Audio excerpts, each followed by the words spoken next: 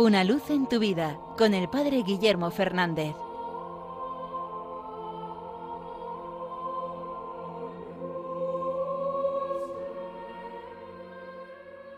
Saludos hermanos de Radio María.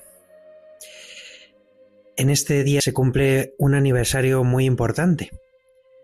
Hoy celebramos los 25 años de Radio María en España un día para dar gracias a Dios por este precioso instrumento evangelizador. Es un medio que no busca otra cosa que hacer llegar la buena noticia del Evangelio a los hogares de las personas, sean creyentes o no creyentes, que puedan recibir la dulzura del amor de Dios, la dulzura de la buena noticia de Jesucristo. Y comenzó precisamente en un día muy señalado, en el que celebramos a San Francisco de Sales, el patrono de los periodistas, precisamente porque de algún modo se sirvió del periodismo para llevar la buena noticia. Él hacía como unas pequeñas hojitas parroquiales que distribuía a todos para hacer llegar esta buena noticia del Evangelio. Incluso las dejaba en las puertas de las casas de los que sabía que eran protestantes, que no eran católicos. Es el deseo de llevar la buena noticia a todos. Pero mm, por algo también por lo que es conocido San Francisco de Sales es por ser el santo de la dulzura. Y esto no nacía con él.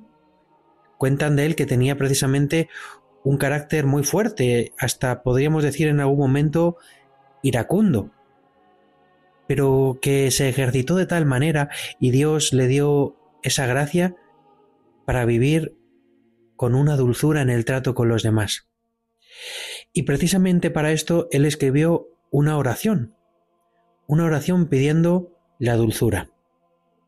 Dice la oración de San Francisco de Sales, Con tu ayuda, Señor, quiero ejercitarme en la dulzura a través de los encuentros y contratiempos diarios. Tan pronto como me dé cuenta de que la ira se enciende en mí, reuniré mis fuerzas, no violentamente, sino con dulzura, y buscaré restablecer mi corazón en la paz.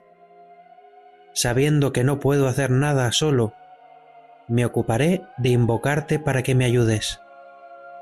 Enséñame a ser dulce con todos, incluso con quienes me ofenden o se oponen a mí, e incluso conmigo mismo, para que no me derrumbe por mis, mis defectos.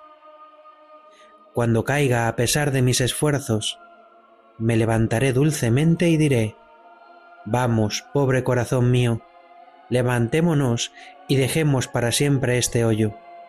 Recurramos a la misericordia de Dios, que nos ayudará. Amén.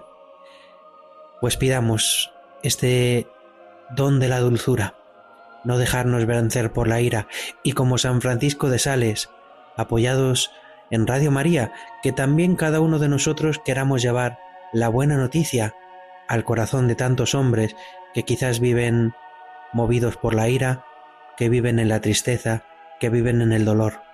Seamos también nosotros, como San Francisco de Sales, como Radio María, evangelizadores. Una luz en tu vida, con el Padre Guillermo Fernández.